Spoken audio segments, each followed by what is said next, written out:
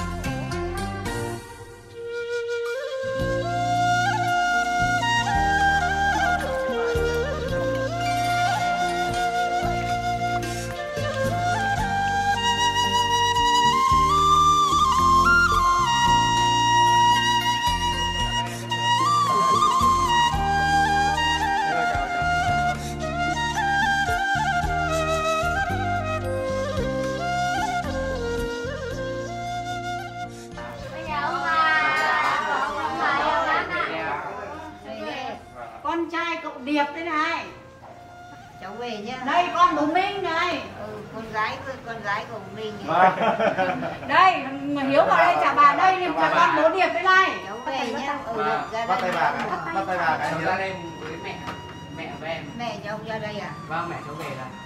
Cháu về nhá. Đây. vâng vào đi. Đây mới là con gái bố Minh đây. Gái của mình đây à Vâng. Học giỏi lắm. học giỏi. Giỏi mà cô cố gắng chứ giỏi mà không cố gắng Rồi đi ờ, như vậy đi thi nó có giỏi hơn bố nữa mà. cháu về nhá. Vâng xin mong ra trường vợ Đây nhá. mẹ Vinh. Cháu có mẹ Vinh. Con trai con trai của Vinh đây à Vâng, đây là ờ, ờ, ờ, con thứ hai của thứ hai à Vâng. thì thằng thứ nhất nó đi làm Nhất nó đi, đi lớn nó đi làm rồi.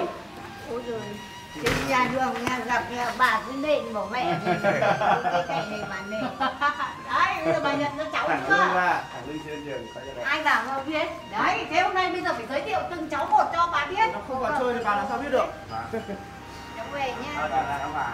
Ok, đấy ạ. Đấy.